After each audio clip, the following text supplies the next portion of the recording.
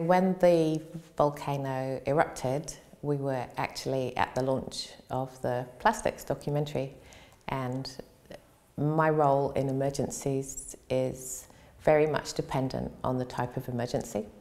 And so as soon as I knew something had happened, I was on alert because I thought I might be called in. Uh, shortly after we left the Governor General's house, the phone went and um, I'd been called to one of the first meetings. In those sorts of situations, all of government gets called in and if they need some technical support, I might be invited to those groups. In this case, it was quite interesting because obviously I'm not a volcano expert, um, but my role was really to translate some of the information that was coming from the brilliant GNS volcano scientists into a form that was more useful for the police and the search and rescue people and the special forces.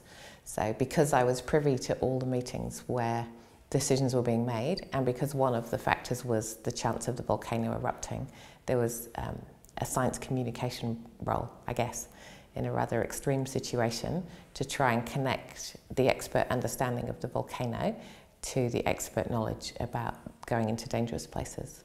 The first I heard about the eruption was uh, driving back from Rotorua to Taupo. Uh, we were out there for a meeting and uh, I received a phone call from, from someone in our team saying, hey, an eruption um, seems to have occurred at, at White Island and, um, and, and we're trying to, to make sure that we, we understand what's been happening down there. So the initial step was to go back to the office um, and, and, and, um, and coordinate the initial response, the science response, uh, issuing what we call a volcanic alert bulletin, um, stating that the alert level at the volcano had been raised, um, alerting everyone that an eruption had occurred.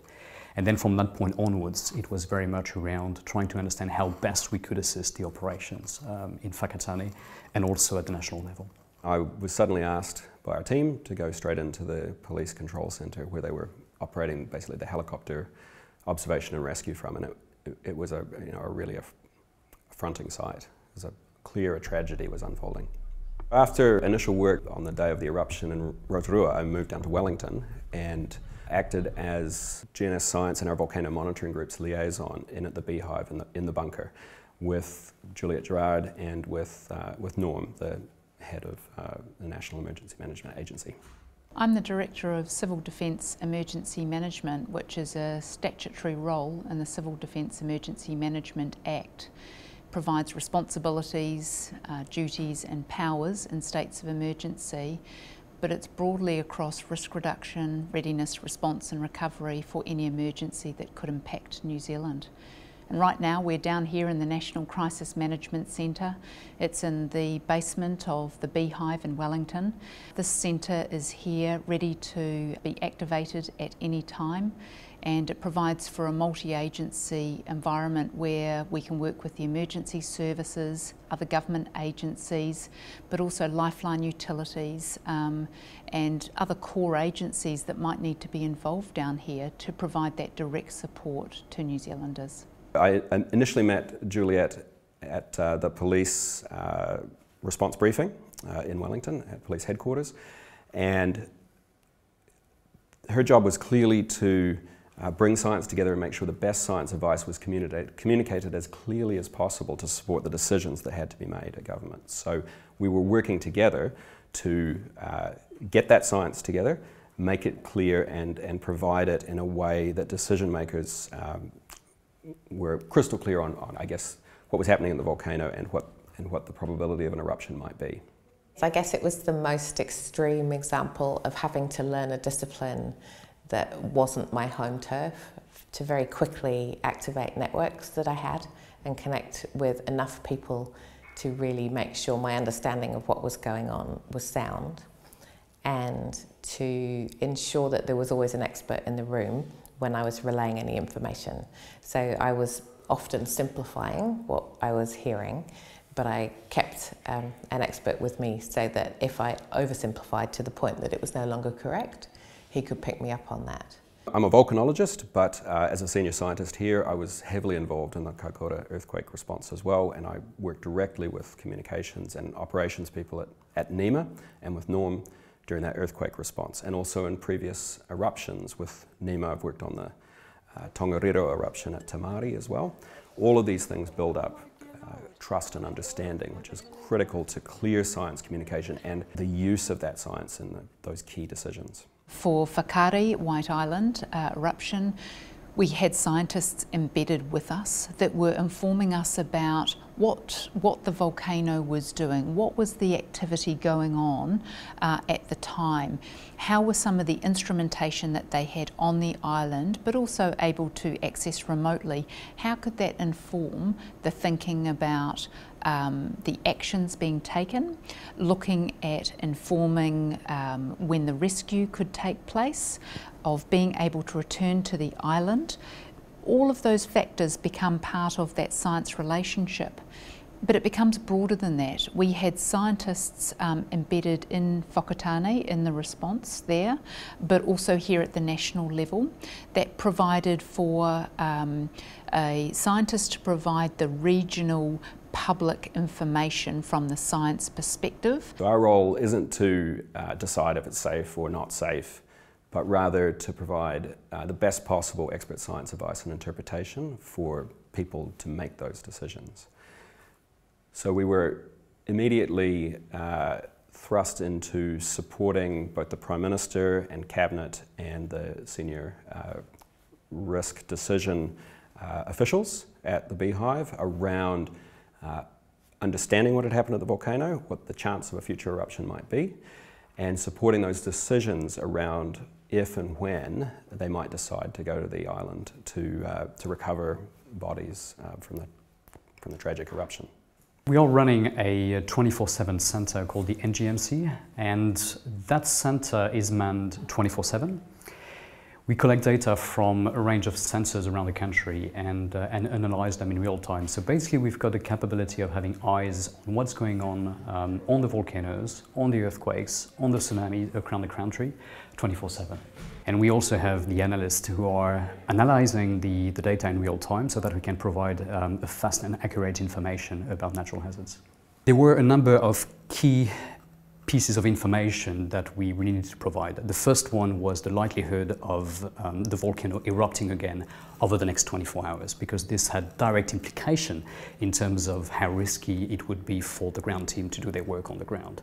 Um, so we had a full team working out the details, uh, working out the probabilities, and then we would be looking at, okay, if this is a likelihood of something happening, and we had people on the ground doing the recovery operation, what is the likelihood of those teams to be killed by the eruption? What we realized was decision makers were interested in the science behind the chance of an eruption and, and our internal staff risk assessment zones.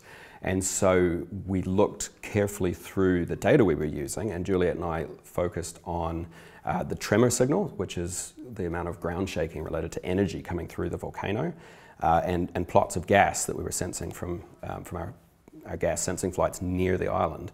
And once we were able to put just those couple of plots in uh, next to the maps of, of, of, risk zones, they were a clear way to show uh, how we understood what was going on under the volcano and how that linked to the chance that we were estimating of an eruption in the future. So we agreed at the request of police and central government that they could look at those numbers at, uh, to help them make their decisions about going back for body recovery. Now those those numbers and the maps associated that, with that are quite technical. And Juliet and I worked really closely over a matter of hours to about a day to get those maps together in a clear and succinct way so decision makers wouldn't have any uncertainty around what we were saying for what the risk zones are and what the chance of an eruption might be. The morning that um, the people went in to retrieve the bodies was very intense because obviously we hadn't made the decision as a group of scientists, but we had provided some key information that enabled the decision to be made. Um, the chance of fatality that morning during the mission was about 6%, which is quite nerve-wracking three hours to spend hoping that the volcano doesn't erupt during that window. Post Pike River, one of the things that came out of the overall inquiries were around the need to have a subject expert to basically be present during the recovery operations or any kind of operations on the ground. So in the case of Pike River, it was people who knew about um, mining because it's, you've got rescue teams or recovery teams who are, could be military, could be police, but they may not know anything about mines.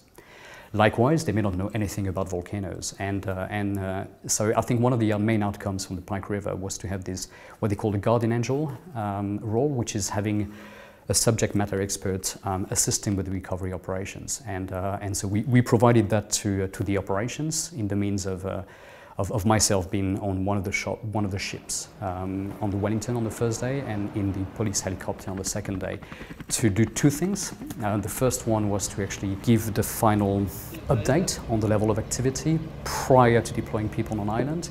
And the second, probably the most important one, was to um, pull the plug and call for uh, an immediate evacuation should, should there be any signs that anything was about to happen or was starting to happen. It was an intense week. So I think it was over four days altogether.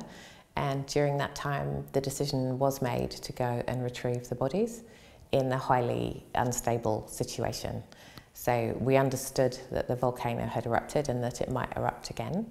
The experts had a really clear understanding of the probability of that, and it was all about mitigating the risk that the people that went to retrieve the bodies would get hurt. So, very intense, long days trying to work through all the different parts of the problem from the science point of view, and obviously not being involved in the decision in any way to go in, but being involved in providing information so the decision could be made. At the core of it, actually, science saves lives.